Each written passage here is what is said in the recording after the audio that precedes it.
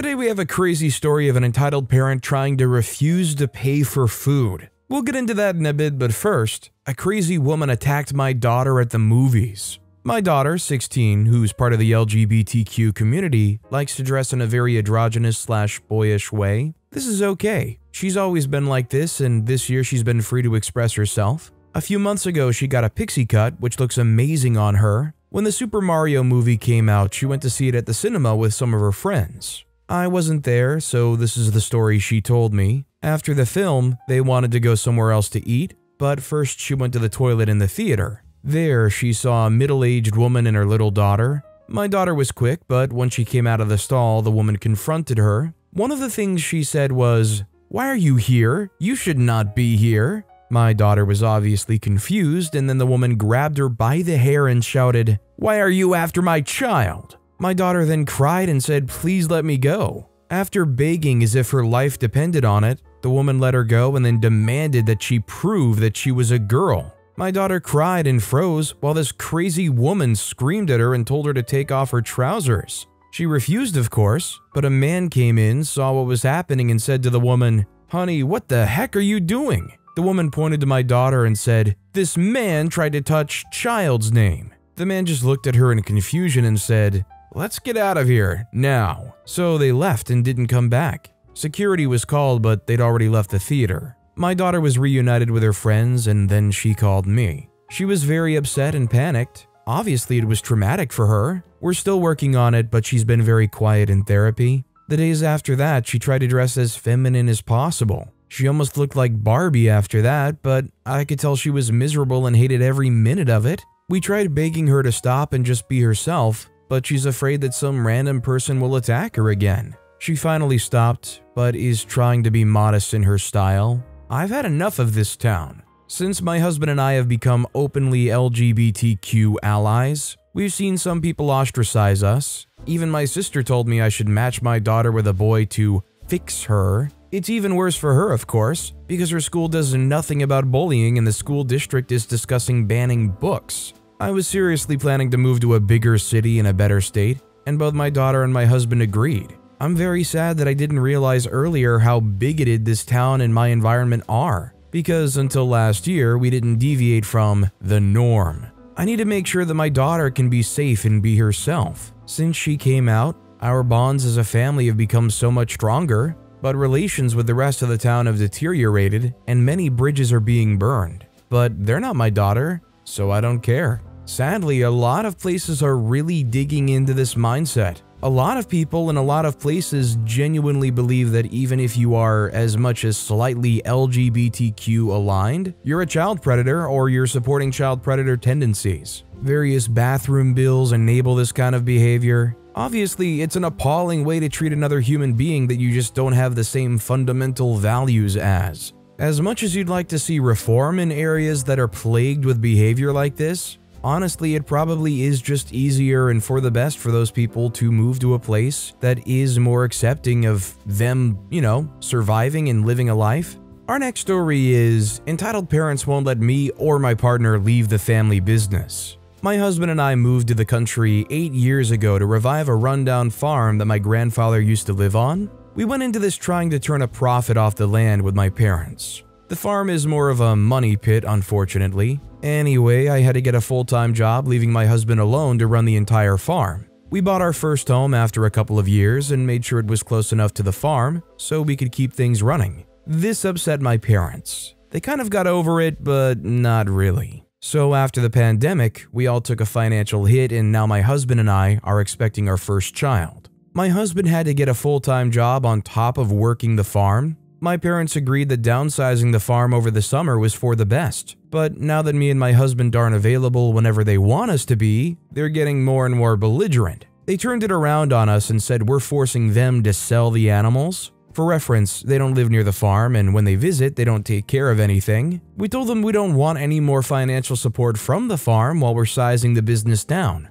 So, my mother's solution to us being unavailable is leaving paychecks around or mailing them to my office or our house. And now, when we say no to her requests because I have a doctor's appointment or we're working our 9 to 5s, she started saying, I pay for your time, you better make it happen. recently it's become obvious they don't want to downsize anything and have me and my husband work ourselves to death. We've stopped getting income from the farm and refused to cash the checks she's sending us to make it crystal clear that we are only taking care of the animals for their sake. Since they won't sell the animals that are in their name per their request, if we just leave the business, the animals will suffer, and we would never let that happen. So now we're basically free labor on the property, and I don't know how we can get out of this situation without things getting extremely messy. I mean, I'm not gonna lie, maybe letting things get a little bit messy is the way to go here. I think it's more preferable than being free labor for God knows how long. In this situation, you don't want to see the animals suffer. And obviously, you don't want to relinquish them to the care of their owners because they're going to neglect them. The hardest part is that any regulation or agency that might oversee whether or not these animals are being properly cared for might not be so stringent on making sure that care going forward is still going to remain good. If you leave, they might doll it up to make those animals look fine for now, and then the care for them falls off a cliff. I don't know the best way forward while still caring for the animals. Our next story is Untitled Karen keeps telling her son to pet my service dog. So, for context, I have a one year old psychiatric service dog in training. Me and my friend went to a big Walmart with my service dog. We walked to the craft aisle so I could get some paint. I overhear a mom talking to her kid about my dog. She said, Aw, kid's name, you should go pet that puppy, it looks sweet. I turn around and say, Sorry, she's a working dog and can't be pet. The mom then replies, Aw, but my son's just a kid and he wants to pet your dog. This is how the rest of the convo went. I said to the kid, Sorry, she's a working dog, honey, and petting her could really distract her. The mom said, Can you let it slide once for him? I said, No, I'm sorry, she's working. Maybe if you see me outside when she's off duty, you can pet her. I then grabbed my paint, and me and my friends started walking away. I can hear the mom behind me telling her kid that it's okay, I'll let you pet that dog. I start laughing with my friend about it, and we go look for sensory toys. When we get to the aisle, I put my dog in a down stay between my two legs to give me personal space behind me, my friend then taps me on my shoulder and said, Girl, the Karen followed us. I turn around and see her down the aisle looking at the shelf, and her kid's eyes were locked on my dog. I grab my things I was looking for, and then my dog jumps forward and turns around. I look back to see the kid and lose it and yell, I told you not to pet my dog, kid. The kid starts crying and runs to his mom. My friend tells me to calm down, and then I say, No, I told this kid not to pet my dog. My dog tells me to sit to calm down, so I start walking away when the mom yells to me, Wow, making a kid cry over a stupid dog, so mature. I yell back, Yeah, I told you and your kid no petting. I turn and walk away. I gave my friend my card and tell her to check out. I'm going to the car to calm down. When she gets to the car, she says, That was unnecessary, and it's just a kid petting your dog, it's not like she's a medical alert. I turned to her stunned. She would say that, and the drive home was silent. I told my friends and family what happened, and they said I was being overdramatic and should just let the kid pet my dog. Edit, it wasn't my mom and dad that said I was wrong, it was aunt, uncles, and the other. Also, my dog would never bite someone. I think it's pretty clear that none of these people have any concept of having a service animal and how important it is that they're not distracted while doing their job. I'm sorry, but if they're regularly on the job and you allowed whatever kid to pet the dog because it's cute, eventually it's going to undo some of that training, isn't it? Our next story is Staying with my parents is a nightmare. So, during the process of getting a divorce, 36 year old male, and getting possession of my new place, I've got about a month or so, my mother graciously invited me to stay with her and my father during this process. I'm staying in my childhood bedroom, which has been converted into a guest room, despite the fact that I'm the only guest they've had. My father will randomly open the door that has no lock on it and just take a few quick glances around and then eventually leave when he realizes I'm just doing stuff on my laptop, no privacy. I have no guests at their place, and whenever I make myself food, they get mad and make comments over the mess. I'm a red sealed chef, I clean as I go. It's ingrained into my body and soul. The messes they get mad at will be water droplets from the dishes and utensils I clean as food cooks. And when I'm eating my meals, I'll get yelled at for leaving a mess. not realizing I'd like to eat my meals hot as I just finished cooking them and I'll clean afterwards. I'm paying them for my stay at their place, being very respectful, but it was my mother who invited me in the first place. At this point, the hassle of making food and just trying to exist Yes, they're wanting to charge me a ridiculous amount for utilities, is getting more expensive than just living in a motel for a month. My father confronted me about how much I'm on my phone and laptop, saying I need to pay them for internet usage. I tried to explain that internet bills don't work that way unless it's off of your wireless plan, and if he wanted his service charge to be lower, perhaps reduce his cable package as he really only watches local news, the Weather Channel, and the Sports Channel, which he could easily stream off his phone and just buy a Chromecast onto a TV. The last nail in the coffin is that I want to be respectful and not eat their food, so I get my own. But I'm getting harassed for taking a very small portion of their fridge and freezer. When I brought this up, they told me to buy a mini fridge, but it couldn't be in the house, it would have to be outside. I'm stuck between a rock and a hard place. I'm at wit's end right now. Sorry for the rant. I'm sorry, but it's so hilariously out of touch that they said, listen, you're using a lot of internet, you're gonna have to pay us for some of that. Like it's been common for regular internet usage to be metered over the last 15 years. Maybe if you've got some like crazy satellite package, or yeah, you're running off of like mobile hotspot,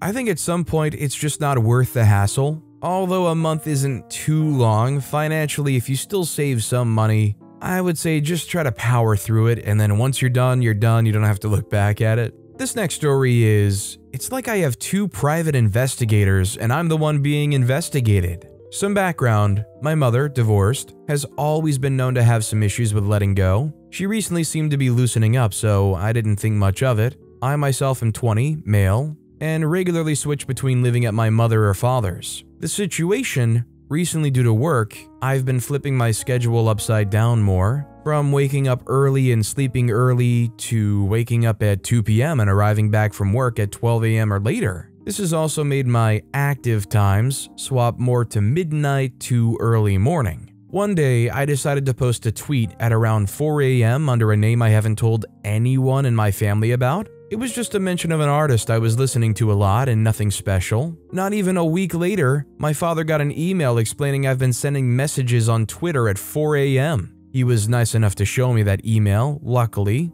That's how I found out. Considering she doesn't even use Twitter, and the fact that I haven't told anyone in my family circle about my online name or alias, I was very surprised when I found the attached image of said tweet. Of course, my father's given me the casual, don't be up late talk, but nothing much. I decided to question my mother about this, however. When I asked her how she knew my online name or alias and if she even used Twitter, I received this response I don't use Twitter, I don't know how to. But a friend of mine sent me a screenshot of you tweeting at 4 a.m. Visibly confused, I asked her how they knew and who that person was. She refused to answer that, no matter what, so I now know I'm online being watched for when I tweet late. But it gets worse. That event made me remember another event in the same year. Just for the sake of context, energy drinks are not allowed to be brought in her home, so whenever I do drink it, I do so outside. One day, she showed me a picture someone took of me while driving in their car, which showed me exactly doing that. That happened a few times before, too. When I asked her about the Twitter email, I also asked her, was that the same person as that was watching me drink energy? And who are they? All she did was smile and say, No, they're not the same, refusing to tell me both who it was and the reasoning. When I asked her to stop, she merely ignored. It's like I have two private investigators and I'm the one being investigated. It honestly creeps me out knowing I'm being watched both online and IRL by multiple people, and they could be anywhere and anyone, even if it's just casual activities. They could be photographing me anyway. I have no idea what to do or how to get it to stop. I'm 20 years old. At some point, you expect her to let go, but apparently it only gets worse. I don't know if she's going around trying to employ anybody that she can to just continue to rat on OP, whether it's like telling neighbors to take pictures if they see something, or I don't know. Obviously, it feels ridiculous to have to go that far, but consulting a lawyer might not be a bad idea if you want this to stop. All I know is I would especially confront her personally, telling her to back the freak off and let you live your life. And I would be checking every device I have, I would be changing all my passwords, anything that could be bugged, keylogged, spied upon somehow. I would definitely be poring over, considering wiping. I would just hate the feeling that my privacy on any of my devices could be pried upon. Our next story is iPad 2 isn't meant for addicts. I used to play this iOS game named Tap Tap Revenge quite obsessively back when I was like 14 or 15, to the point where I saved up $500 just to get an iPad 2 so as to start competing. So here I am, casually playing the game while riding the bus, and this 8 or 9 year old kid goes by with his mom and promptly asks me to try to play the game.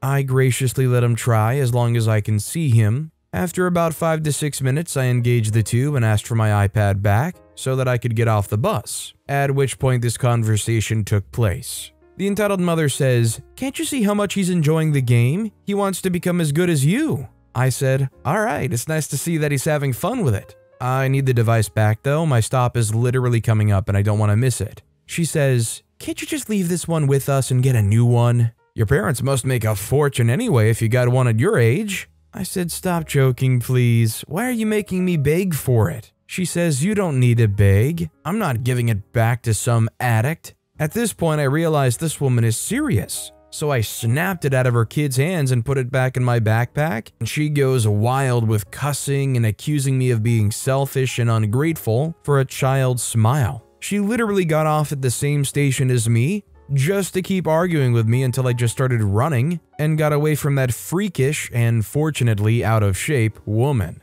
I just feel bad for her kid. Honestly, I hope for that kid's sake that they went and bought their own iPad I mean, if they're willing enough to try to steal it from a kid, I sure hope they understand how much their kid would appreciate an actual one that they would buy themselves. This next story is Entitled Mom doesn't want to pay for her food because it was made by students. It happened about two years ago, so the details are kind of vague. I just filled up the gaps with what I think happened. Okay, so this story happened in my school back when I was in 10th grade. In German schools, there's this thing called Elternabend, lit parents' evening, where the parents can talk with the teachers about how their children are doing in school. Our school always offered a buffet, nothing too big. We had coffee, cake, and bread rolls. At this evening, which was made by the 10th grade, who got to keep the money they made. When this event occurred, I was giving out the coffee and controlling the register, and a girl who I didn't know too well, because I didn't have classes with her, was giving out cake and bread rolls. Everything was relatively cheap, so we got lots of customers. One of them was Entitled Mother. At first, she seemed nice, just like every other customer. Entitled Mother to me said, Hello, one coffee, please. I said, Of course. Entitled Mother then starts doing something on her phone. Me trying to get her attention because she didn't tell me if she wanted milk or sugar says, Excuse me? Entitled Mother ignores me. I say louder, Excuse me, ma'am. Entitled Mother, noticeably annoyed, says, What? I say, Do you want milk or sugar? She says, Yes, of course. I don't know what she wanted exactly anymore. It isn't that important, anyways. I then hand her her coffee and she shouts over to the girl next to me, Oh, yeah, and a bread roll for my son. The girl hands her the bread roll and entitled mother walks away. At this point, I'm kinda annoyed because she's looking at her phone and didn't thank us. Then the girl asks me if she handed me the money. I had actually forgotten about that.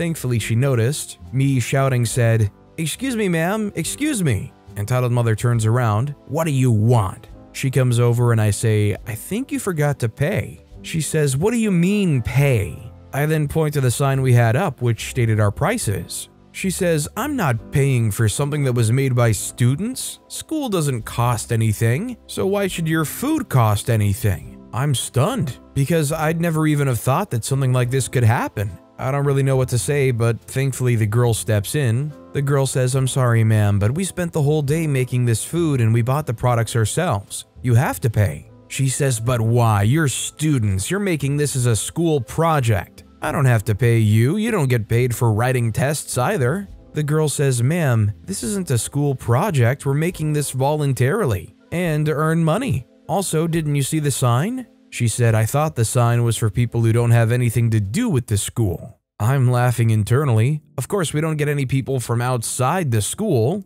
The girl says, Um, ma'am, we don't really get any people from outside the school. I'm sorry, you'll have to pay. She says, Well, I don't believe you. Also, if, even if others have to pay, I should get it for free because my son is so good in school, he always gets straight A's. I know this is really cliche, but she really said that. I decide to step in because the girl doesn't really know what to say anymore. I say, ma'am, I'm sorry, but if you don't pay, I'll have to get a teacher. Entitled mother says, I don't care, I'm in the right here. Go get a teacher if you want to. She then walks away to the tables, Everybody was staring at her already. Me and the girl share a confused look, and then I tell her, I'm gonna go and search for a teacher. I search the whole school for about 10 minutes, but I can't find anybody. They're probably all talking with parents, so I decide to go to the third principal. He was really cool and everybody loved him. The other two principals weren't this nice. I knock at his door and thankfully he's present. I come in and tell him about the lady who didn't want to pay. He then says, Show me where she's sitting. I'm gonna go and talk to her. I say, okay. I take him and show him where she's sitting, and he tells me to wait at our stand. They start having an argument for maybe five minutes. I don't really remember. They're not shouting or anything, but they do raise their voices from time to time. After they've finished talking, the third principal comes back with the two euros she owed us. He then says, It was really hard to convince her that this isn't a school project, but I think she believed me in the end. He then hands each of us 5 euros out of his own wallet and says, Because you had to put up with her. Me and the girl smirk at each other, and we continue working. Entitled Mother didn't apologize, and I didn't see her anymore. Well, I'm certainly glad that she didn't go for a round two when trying to get some actual food and not just like a coffee. Even if this was for like a fundraising thing, I can't imagine willingly choosing not to support the kids who actually put in some effort. This lady definitely fits that entitled bill. She wanted only her and her kid to be the ones who got ahead in this place. Our next story is entitled Parents at a Grocery Store. So I'm in high school and I've been working at a grocery store as a cashier for about a year now. Now, I see and deal with a lot of BS from customers, but this particular story really grinds my gears. Note, I'm generally really good with kids. I let them help, bag, and sometimes teach them how to ring, let them stand on the mat with me. So it's a Sunday just after church let out, and the store is packed. And a bunch of corporate people are in the store because we'd officially been open for a month. I'm alone at the register, no bagger, just me, a mother entitled, and her about three year old son get in line. When she starts putting her groceries on the belt, the son starts begging to be put up there too. I ignore it and continue the order I'm on, assuming she has common sense and won't put her kid on the belt. I finish up the last order and turn towards her and, surprise, surprise, see her son on the end of the belt. I turn off the sensor belt because I don't want the belt moving with a kid on it. Here's the interaction from there. Entitled mother says, Why did you turn the belt off? I say, Because your son's sitting on it and I don't want him to get hurt. She says, He won't get hurt. Turn the belt back on so he can ride it. I say, Ma'am, I can't do that. Even if you believe he won't get hurt, it's still possible, and I really don't want to be a part of that happening. At this point, a manager is watching but hasn't intervened. She says he's not stupid, he won't get hurt. Other cashiers have let him do it before. I say, cool. Please take your son off the belt and then we can start your order. She says, let me speak to your supervisor. I look at my manager and gesture for him to come over. Manager says, What's the problem, ma'am? She says your cashier won't let my son ride the belt while she rings up my groceries. That's bad customer service. The manager says, Well, I'm glad that she won't let your son ride the belt. He could get hurt, and as a company, we try to avoid preventable customer injuries in our store. Please take your son off the belt, and she will gladly start your order. Entitled mother says, Put the stuff back. I'm reporting the store to corporate. Manager says, You're in luck. Our front end corporate supervisor is in the store today. I'll go get him. I'd love to know what happened, but they probably walked off and some dumb complaint happened. Probably got told the exact kind of things that OP and the manager told her. Obviously, I'm willing to bet this complaint that, hey, you won't let my kid ride the belts, isn't going very far. This next story is You chose to wait for career and marriage to have a kid? My husband and I recently bought our first house. This couldn't possibly have happened any later because of crap like this. We lived in a gentrified apartment complex. Now, we had one Section 8 dweller, entitled mother, with one child, entitled kid. They were there because they'd been there before the complex changed owners and was gentrified. So while my husband and I and every other tenant was paying $950 a month for a two bedroom, entitled mother and entitled kid were sitting pretty in said $950 a month apartment at the expense of the American taxpayers. This is only one of many incidents, and I may share more in the future. Background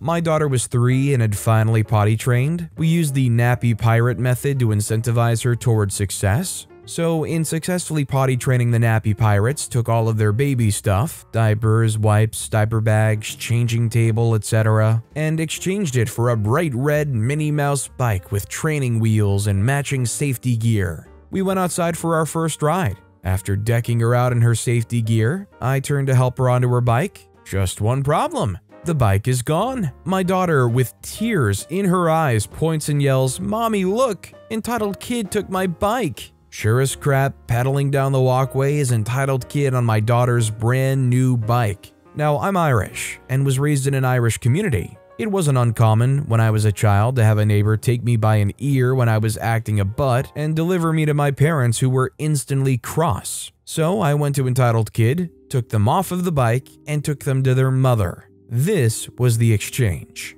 I say Entitled Kid took my daughter's bike without asking. Entitled Mother says they did ask. I say, Who? Entitled Kid didn't ask my daughter or me. She says, Entitled Kid asked me, and I said it was okay. I say, What the freak? Who do you think you are giving Entitled Kid permission to take the property of others without asking? Are you seriously teaching your child to be a thief? She says, Whoa, don't insult my child. I said, I'm not insulting Entitled Kid, I'm insulting your parenting methods. She says, Well, if you don't want Entitled Kid to play with your daughter's things, you shouldn't flaunt them in front of them. Why can't you make your daughter take turns with Entitled Kid? I say, Because it's my daughter's property, and to teach her the concepts of ownership and autonomy, I don't tell her what to do with her belongings. She says, Well, turns would just cause them to argue anyway. Why don't you give Entitled Kid that bike and get your kid a new one? I say, You're kidding, right? She says, No, you and your husband both work, you can afford it. Then they'll both have the same thing and they won't argue. I say, um, that's gonna be a no. You see, my husband and I are only obligated to provide for our child, not entitled kid, too. Entitled mother turns to entitled kid and says, See, entitled kid, T's mommy and daddy are snobby and selfish. They don't understand that some people choose to be mommies instead of choosing college and careers before family. I turn to Entitled Kid and say, Exactly, Entitled Kid. Mr. OP and I got educations and developed careers so we could provide for T, my daughter. Entitled Mother says, So because you did that, you're better than me? It is your responsibility to take care of the less fortunate, like Entitled Kid and me. I said, No, it's not. Well, not past what my taxes provide for you. I walk away to her grumbling under her breath while telling Entitled Kid that they could not go out to play while my daughter was outside. While this exchange was occurring, T was outside with Mr. OP, happily pedaling the bike she earned. Honestly, I hope that what OP said resonates and sticks with this kid, but considering the fact that their parent turned around and immediately started pounding some alternative information in their head, I fear for them growing up. Our next story is Entitled Mother Thinks Family Bathroom is Only for Her and Baby. Yesterday, I, 37 year old female, got off a plane in the US and rushed to the airport bathroom. I have radiation colitis from cancer treatment and am prone to diarrhea and incontinence. I had a small accident while deplaning, but was trying to hold the rest until I got to the bathroom. Not the first time this has happened, and I carry clean clothes and wipes with me whenever I travel. Anyway, I noticed a long line at the women's bathroom and saw that the family care bathroom was vacant and no one around looking to use it, so I stepped inside. I hear screaming behind me, but ignore it because it's a busy airport and thought nothing of it. As I'm closing the door behind me, a woman carrying a baby literally puts her hand and body between the door and opens the door, and the following interaction occurs. The angry, entitled mother says, Excuse me, this is a family restroom, this is not for you. Me trying to hold in the rest of my crap, Sorry, you'll have to wait. She says, We need to use this bathroom. I say, Not that it's any of your business, but I have a disability. She says, What disability? She's still preventing me from closing the door with her body and hands while holding a baby, mind you, and literally would not let go, still screaming, What disability? She still held on. I overpowered her and pushed her back with the door, then pulled the door closed and locked it. Freak her and her freaking baby. You don't have a monopoly on family restrooms, which need a completely different title altogether, in my opinion. And you don't get to harass a literal cancer patient because you chose to reproduce. I hope she and her baby crapped their pants like I did. You know, on second thought, it does have kind of a misleading name. I'm guessing family was just kind of the easiest all encompassing word. All access or everyone is kind of just like weird sounding. I mean, what's a good word to identify a bathroom that's spacious and friendly and equipped for literally anybody? But with that being said, that's all the time we have for today. Now, if you want to hear another absolutely crazy entitled parent story, check out that video on the left. Or if you missed my latest video, check out that video on the right. That said, I'll see you all next time with some more stories.